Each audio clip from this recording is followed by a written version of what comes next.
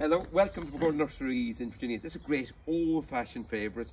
Thrives on total utter neglect. You'll find it in that section in the web shop. It's called Snow in Summer or Cerastium tomentosum. It's perfect if you've got a bank at the back of your house and want, want plants spreading on it to help to keep down weeds and block out light or spilling over walls and curbs. The great thing about it is when you have planted in your garden for ever and a day, planted from young plants like this one at this time of the year, silver foliage. Now, they're a little bit scruffy when you get them, but they certainly redeem themselves afterwards. And when it's planted, it's in your garden for years and years to come. Decent sized planting going when you're planting it. It's a super thrive planting fertilizer at the bottom, compost and soil on top, and the same back and round. And snow in summer will be with you forever and a day. Goodbye for now. Enjoy your garden.